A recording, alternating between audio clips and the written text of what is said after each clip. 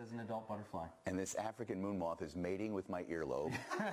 um, an hour ago, I was holding a tarantula. I mean, I've done live shots out in hurricanes and thought that was cool, but I've got an African moth eating Exactly. my ear. Weeks as an adult butterfly. And this African moon moth is mating with my earlobe. um, an hour ago, I was holding a tarantula. I mean, I've done live shots out in hurricanes and thought that was cool, but I've got an African moth eating Exactly. my ear.